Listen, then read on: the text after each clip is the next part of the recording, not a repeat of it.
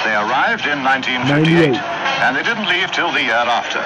But they were very genteel about it all, almost sedate. Wasn't like this in my day. To avoid a roughhouse, the floats were paraded on a stage well above the floor.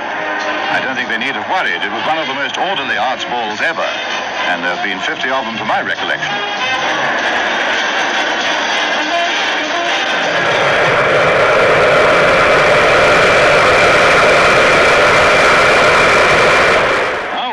Goodbye, 1958. 90.